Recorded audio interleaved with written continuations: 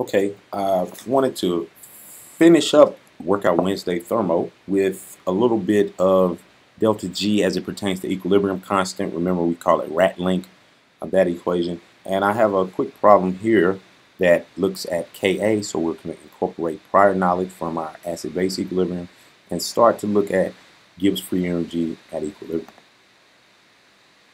So here's another uh, problem from the text. We have the value for Ka, nitrous acid, at 25 Celsius is given in Appendix D. Write the equation for the equilibrium that corresponds to Ka. By using the value of Ka, calculate delta G standard for the dissociation. What is the value of delta G at equilibrium? And what is the value of delta G when these concentrations are at hand? Okay, so the first thing we want to do is we want to write out the dissociation in an aqueous system for nitrous acid. And again, nitrous acid plus water is in equilibrium with hydronium ion aqueous plus NO2, NO2 excuse me, aqueous minus. Okay, and this is the reaction that corresponds to Ka. Remember, Ka is equal to products, concentration of products, over reactants, and we do not put water in because water is a pure liquid. Remember, pure liquids do not involve themselves here. Based on the appendix in the back of the text, we can determine that Ka value for nitrous acid is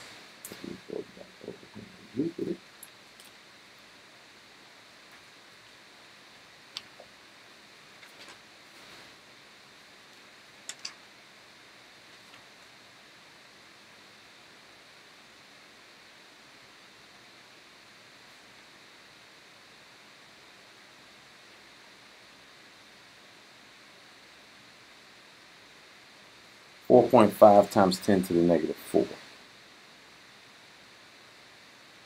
Remember, nitrous acid is a weak acid. This is telling us the level of dissociation at 25 degrees Celsius, which is where we're working at. Okay? So the question, going back to the question, the question asked us to write the chemical equation. We did that. And we want to use the value of Ka to calculate delta G. So that's part B. So this was part A.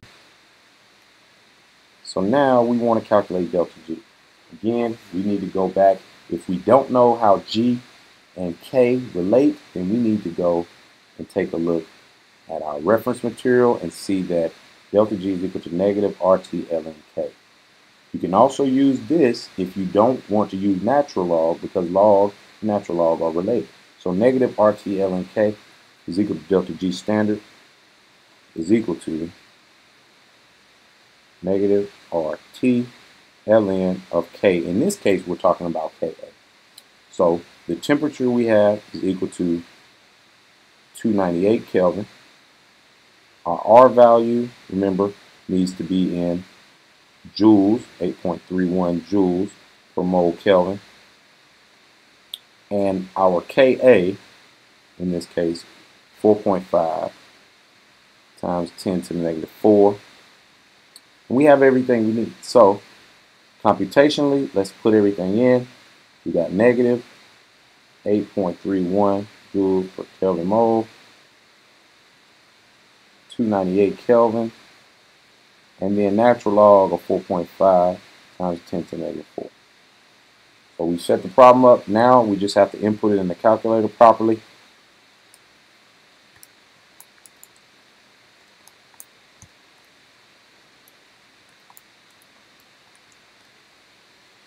Looks like we got 19,000 roughly joules. Also equal to 19 kilojoules.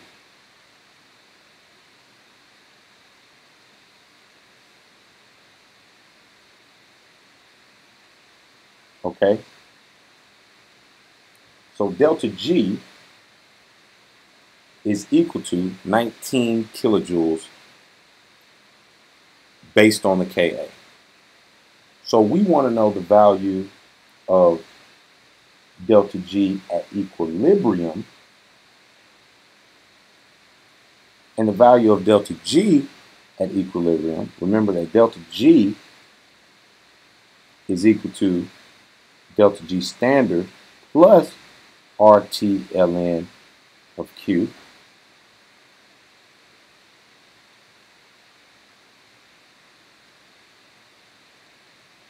And at equilibrium, we see that these two values are going to equal each other. At equilibrium, delta G should be equal to zero. Remember, delta G is always equal to zero any, for any system at equilibrium, right? For any system at equilibrium, delta G is going to be equal to zero. What is this telling us? This is telling us that before any nitrous acid dissociates, before we get any dissociation, is this going to be spontaneous or not? And that is, again, a function of delta G. But at equilibrium, delta G is always going to equal zero. The last thing that they want to ask us is to determine the value of G given concentrations that are not at equilibrium. So they give us that H3O plus, remember H plus and H3O plus are the same, is 5 times 10 to the negative 2. They give us that NO2 minus is equal to 6 times 10 to the negative 4, and that HNO2 is equal to 0.2. Again, all of these are in molar. All right. So if delta G non-standard is equal to delta G standard plus RT ln Q, and we already know delta G, so then delta G is equal to 19 kilojoules roughly plus 8.31 times 298 times the natural log of Q, which is products over reactants, 5 times 10 to negative 2 times 6 times 10 to negative 4 all over 0 0.2. And now we can find the Gibbs free energy of the non-standard scenario.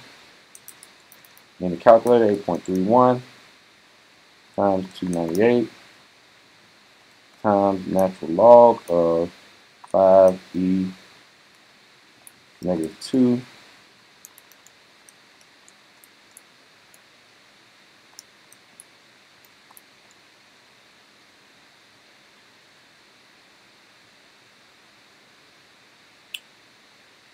divided by 0.2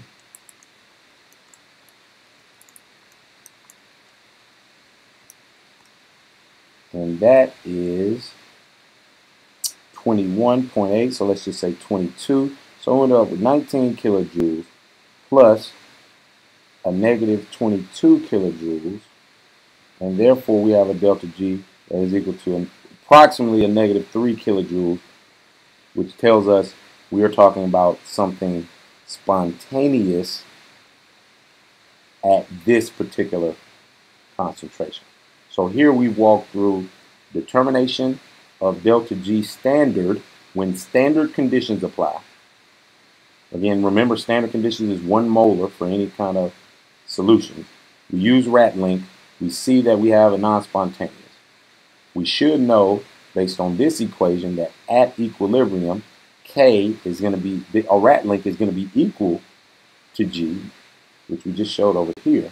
Therefore, delta G at equilibrium will be zero.